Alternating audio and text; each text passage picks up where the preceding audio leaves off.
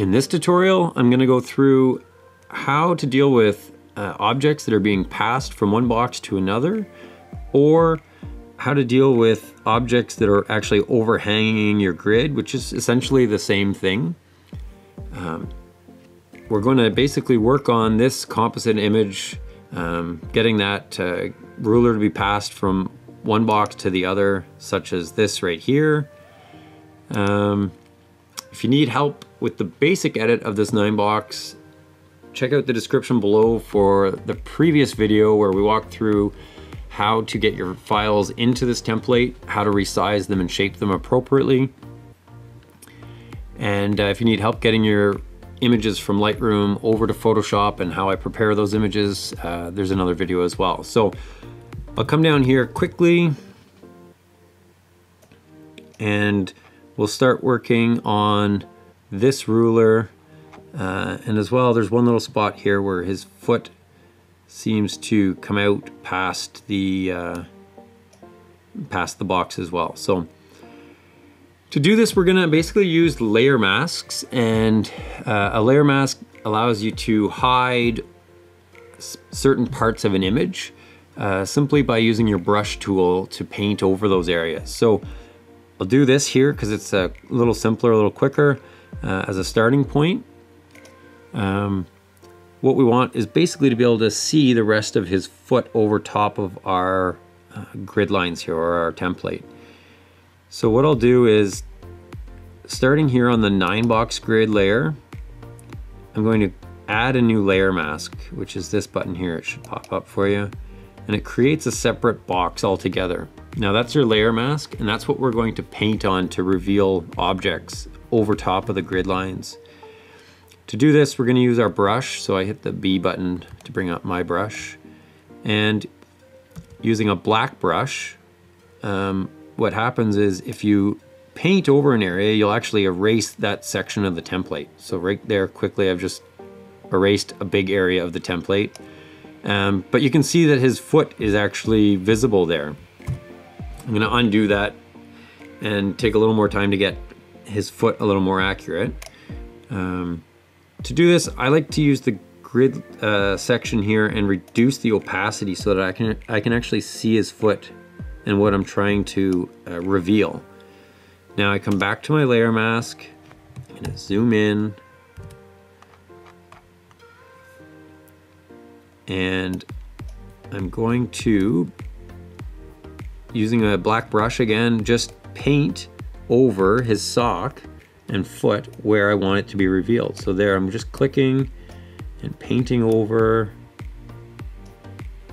his foot.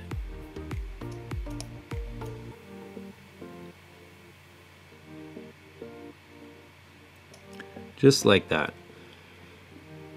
And so if I come back to my grid layer again and increase the opacity back up to 100%, we can see that I've basically revealed his foot over top of the uh, template.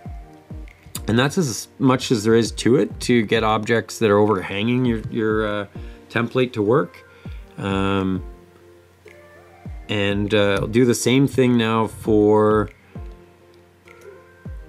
the ruler up here where I'm trying to have it passed uh, from this box up to this box.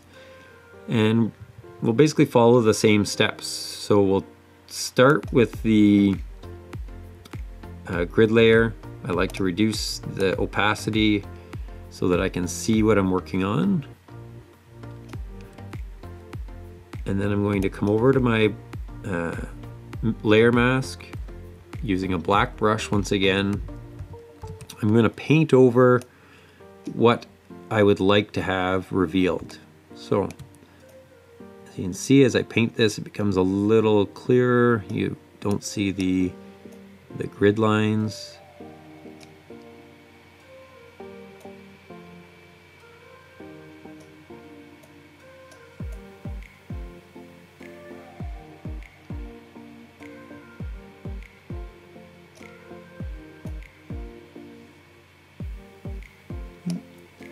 And so I've actually overdone it a little bit there, and that's okay. If you've overdone it, you can use a white brush, which will actually repaint or undo um, those sections. So you'll be painting back on the, the layer, uh, the grid lines. So X reveals and white will cover back up.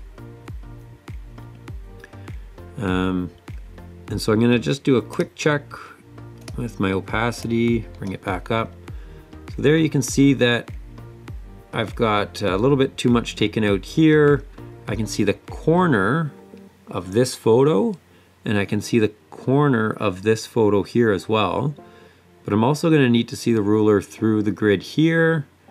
Um, oops. I'm to need to see the ruler basically through here. So using your black brush, I'll need to see it through here. And it kind of continues up through here. So using um, basically using the layers and the order that they're in, if I drag this guy up over top of my other ones, you can see that it brings it over top of this image and this image to reveal it as you would with any any layer um, text layers and that sort of thing the, the higher they are the the more forward they are so this will now allow me to basically work to finalize that layer mask and get everything uh, cleaned up a little bit. So I've done a pretty rough job. You can see all the edges of the of the ruler are pretty rough. Um, and I need to clone out my fingertips that was holding the ruler here. So I'll come back up to the layer mask and just do this, uh, basically just do this quick. You can take as much time as you want here to, to do this, but I'm back on the layer mask with a black brush. I need to reveal this section right here. There's a little bit there of the ruler that I need to reveal, a little bit there. So I've actually uh, overdone it a bit and what I can do is just go back to my white brush and zoom in and start to bring back the grid lines wherever I would like. And this is where I can even out, I'm gonna even out my ruler a bit as well.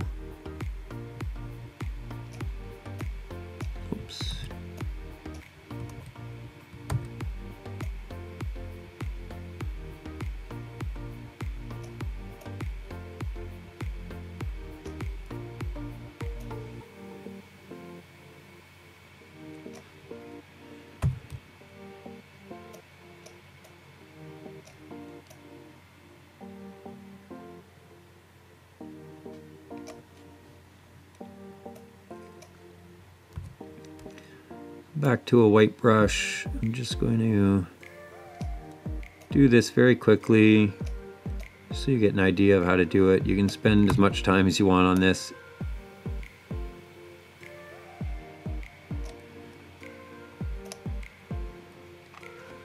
So that gives you a rough idea of how uh, of how to do layer masks and reveal reveal your objects.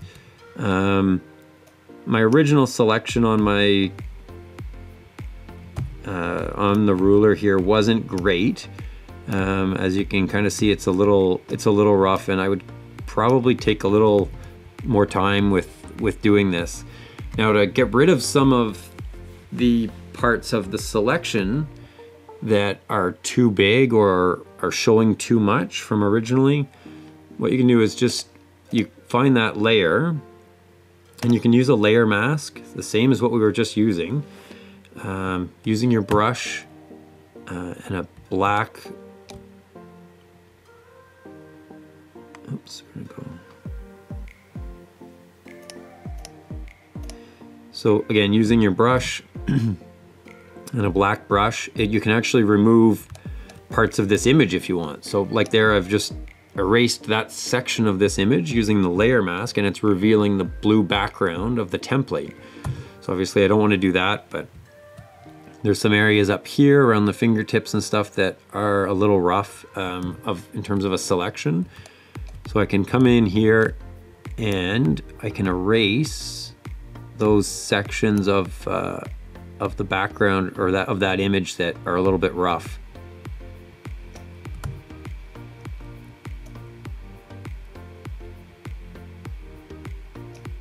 So again, I'm doing this pretty rough. You want to make sure that, uh, especially for this uh, ruler, that your lines were nice and straight, but just giving you an idea what the black brush would do to an image with a, a layer mask. So,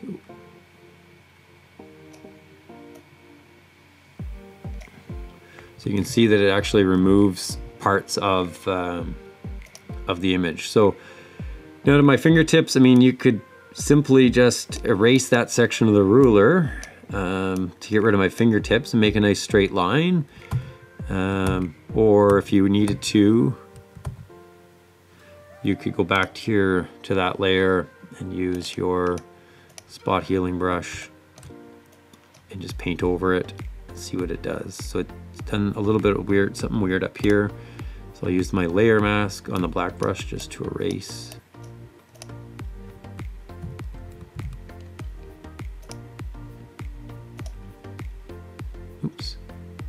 brush black brush sorry to erase that it was still in spot healing so there you have it. That's a quick way to deal with uh, the overlaps. Um, it's using the layer masks.